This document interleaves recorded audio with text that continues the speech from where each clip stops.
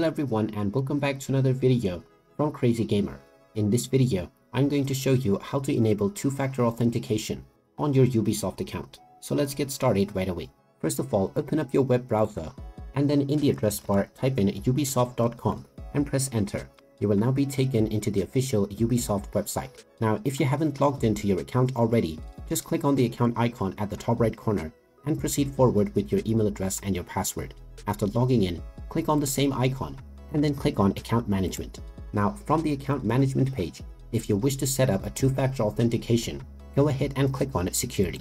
Now within the security page, you will see the two-step verification option. Go ahead and click on activate and you will now be asked to either choose an email or an authenticator app. You can choose whichever option you wish and then click on the choose button. Just confirm your identity by verifying through your email address and once you verify through your inbox, you will be asked to use an authenticator app in order to scan the given code. You can use your smartphone to use the authenticator app and you can just use the camera to scan the given code.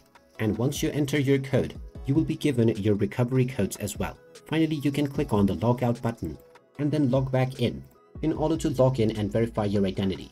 And there you have it. That is how easy it is to set up two-factor authentication within your account on Ubisoft.